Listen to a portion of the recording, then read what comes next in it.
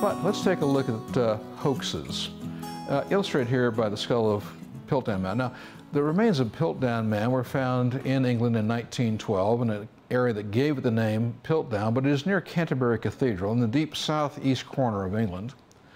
And uh, the remains were found, uh, declared to be proof of human evolution, a pre-human, subhuman, living at some time in the distant past in what is now southeast England. And the remains were taken to the British Museum of Natural History and declared to be proof of human evolution until 1953. Now, let's take a little look. Here are the drawing of the skeletal remains of Piltdown Man. But in 1953, it was announced to the public that this was not a proof of human evolution. Because you see, it was announced that, first of all, the jaw was not human. The jaw was actually that of a 10 to an 11 year old orangutan that had died probably about 500 years ago. The teeth were not human, they were actually fossil chimpanzee teeth. As a matter of fact, as you will see, I'll show you the photographs, the teeth were actually filed down flat with a modern metal file. They are just perfectly flat. And what about the skull fragments? Now, the skull fragments were in fact human, but at the back of the skull right here, we had a blow from a modern steel pickaxe.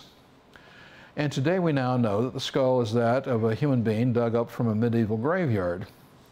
Now let's take a look at the real evidence. First of all, take a look at the teeth. You'll notice these teeth are absolutely flat because they have been filed down with a modern metal file.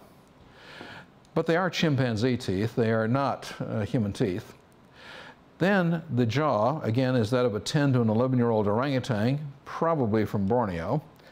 And this was announced officially publicly in 1953. However, evolutionists working at the British Museum of Natural History knew it was a hoax in 1923. They waited 30 years to tell the public what they knew in 1923.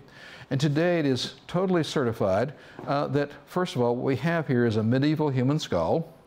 We have 500 year old orangutan jaw and fossil chimpanzee teeth.